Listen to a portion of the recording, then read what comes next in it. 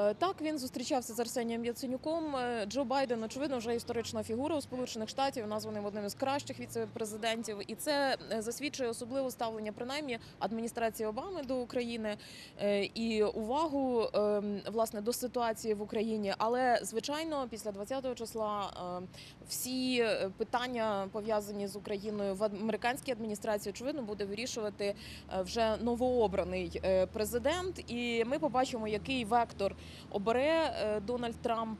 І ви знаєте, що станом на зараз для нас ключова позиція це в зовнішній політиці відстоювати свою позицію. Бо дуже багато спокус сподобатися сьогодні республіканцям і Трампу, задати якісь розмови про можливість здачі території. Е, І ми бачимо, що такий підхід. Ніколи не може бути на користь країни, бо такий підхід ризикує тим, що він просто розірве країну зсередини. І ця ідея росіян розчленування країни може стати вже не такою далекою, якщо ми будемо продовжувати дискусії про те, що давайте змиримося із існуючим порядком речей. Очевидно, українська дипломатія повинна бути сьогодні максимально посилена найкращими кадрами, і це досить серйозно, тому що ви знаєте, що в Європейському Союзі теж ситуація не найкраща.